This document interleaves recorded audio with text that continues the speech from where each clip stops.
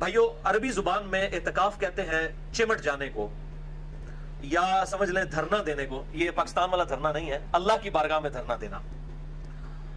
और शरी इस्तलाह में अल्लाह ताला की रजा की खातिर, रमज़ान मुबारक के आखिरी दस दिन में मस्जिद के अंदर चिमट जाना, अल्लाह के हुजूर उससे मगफरत के तलब के लिए और उसकी बख्शिश की उम्मीद पर बैठ जाना और अपने दुनियावी मामलात को छोड़ देना ये सुन्नत एतकाफ कहलाता है।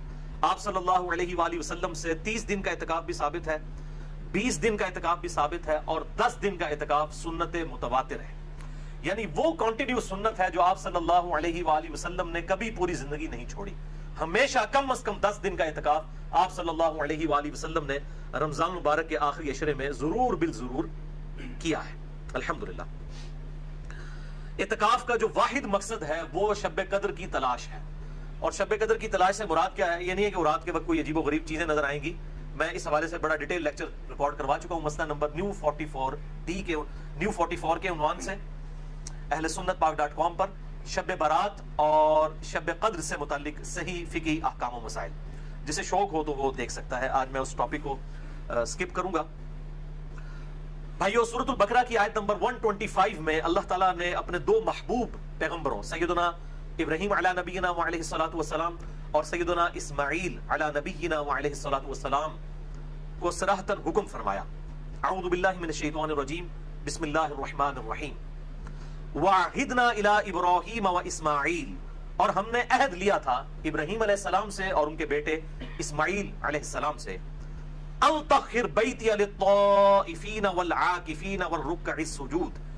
कि मेरे घर को पाक साफ़ रखना इस घर के मुतवली बनना और इसकी सफ़ाई का ख्याल रखना नंबर एक लिफीन तवाफ करने वालों के लिए नंबर दो वल आकिफीन और एतकाफ करने वालों के लिए मेरे घर को यानी बैतुल्ला को पाक रखना नंबर तीन वल रुक सुजूद और रुकू और सजदे करने वालों के लिए बैतुल्ला को पाको साफ़ रखना इससे ये बात पता चली कि बैतुल्ला शरीफ में जो इतकाफ की जो सुन्नत है, ये आप सल्लल्लाहु अलैहि वसल्लम की बेसत से पहले भी जारी थी। ये सुन्नत ऐसी नहीं है जो उम्मत मोहम्मदिया सल्लल्लाहु अलैहि वसल्लम में कोई नई चीज़ आई है, बल्कि ये सुन्नत इब्राहिमी है। और अल्लाह ताला ने सैयदना इब्राहिम को हुक्म फरमाया था कि बैतुल्ला को पाको साफ़ रखा जाए। नंबर एक, तवाफ करने वालों के लिए। नंबर दो एतकाफ करने वालों के लिए। और नंबर तीन, रकू और सजदे, यानी नमाज़ पढ़ने वालों के लिए। भाइयों सूरतुल बकरा ही में जो रमज़ान मुबारक के कॉन्टेक्स्ट में रुकू नंबर 23 है, उसमें एक आयत है सूरतुल बकरा आयत नंबर 187 जिसमें इशारतन, एतकाफ का भी ज़िक्र आया, वला तुबाशिरूहुन्न व अंतुम आकिफून फिल मसाजिद और अपनी बीवियों के साथ इस दवाजी ताल्लुक मत कायम करो जबकि तुम मस्जिद में एतकाफ की हालत में हो। यानी औरतें भी मस्जिद में एतकाफ बैठा करती थी उस जमाने में, उम्महातुल मोमिनीन भी, और बाकी औरतें भी। अल्लाह ताला ने हुक्म फरमाया कि अगर कोई मियाँ बीवी इतकाफ मस्जिद में बैठे हैं तो वो इस दवाजी ताल्लुक कायम नहीं कर सकते, वरना उनका इतकाफ टूट जाएगा। तो इसमें भी इशारतन एतकाफ का ज़िक्र आया कि मसाजिद के अंदर एतकाफ हो सकता है, ये सुन्नत है। जहाँ तक एतकाफ की फजीलत है तो इस हवाले से सूफिया की किताबों में आपको बहुत सारी रवायतें मिल जाएँगी किमिया सादत के अंदर तस्करतुलवाजीन के अंदर और किताबों के अंदर। लेकिन उनमें से कोई भी उसूल मुहदसिन पर मज़बूत रवायत नहीं है। इसलिए कैटागोरिकल डिसीज़न है मुहदसिन का अजमाइन, के इतकाफ की फजीलत के ऊपर, कोई पर्टिकुलर फजीलत के ऊपर कोई भी सही हदीस रुए अर्ज़ पे मौजूद नहीं है। बहरल मेरे नज़दीक यही फजीलत काफ़ी है कि अल्लाह ताला ने इसे अंडोर्स किया है और अपने अम्बिया कराम को हुक्म दिया है कि मेरे जो बंदे एतकाफ के लिए मस्जिद में आते हैं, उनके लिए मस्जिद को साफ़ रखो।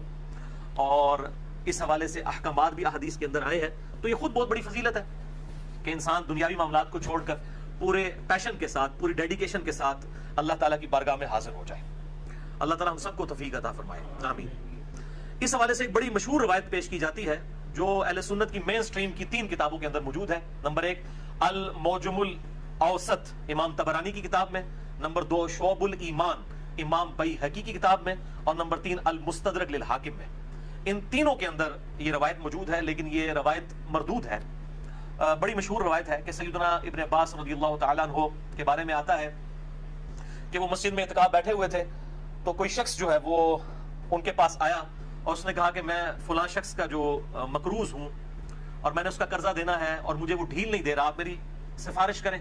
तो इबन अब्बास जो है वो मस्जिद से इतकाफ तोड़ के बाहर निकल गए और जाके उसकी सिफारिश की और जब उस शख्स के पास गए सिफारिश के लिए, उसको पता चला कि इब्ने अब्बास आए हैं तो उसने जो है वो कर्ज ही माफ़ कर दिया, यानी उनके प्रोटोकॉल के अंदर। तो दूसरे साथी ने कहा कि इब्ने अब्बास, आप तो इतकाफ बैठे हुए थे, आपने इतकाफ क्यों तोड़ दिया? तो इब्ने अब्बास ने फरमाया कि मैंने इतकाफ इसलिए तोड़ा कि किसी मुसलमान भाई के लिए, उसकी मुसीबत और परेशानी के लिए दौड़ धूप करना, ये अल्लाह ताला के हुजूर 20 साल के इतकाफ से बेहतर है। और फिर साथ ही इरशाद फरमाया इब्ने अब्बास ने कि, जो शख्स एक दिन का इतकाफ करे अल्लाह के हुजूर तो मैंने नबी सल्लल्लाहु अलैहि वसल्लम से ये बात सुनी। कि अल्लाह ताला उसके चेहरे और दोजख के दरमियान तीन बड़ी बड़ी खंदकें हायल कर देता है, जिनकी चौड़ाई जो है ज़मीन और आसमान के फासले के बराबर है। ये वो रवायत है जो बड़ी मशहूर है, लेकिन ये बिल्कुल जाली बल्कि झूठी रवायत है, क्योंकि इसके दोनों जो तुरुक हैं, दोनों में एक एक झूठे रावी, मदरूक रावी मौजूद हैं। जो तबरानी की सनद है उसके अंदर, बशर बिन सलम जो है वो मतरूक रावी हैं, जिनसे हदीसें लेना मुहदसिन ने छोड़ दी, और अल मुस्तदर हाकिम में मोहम्मद इब्न मुआविया।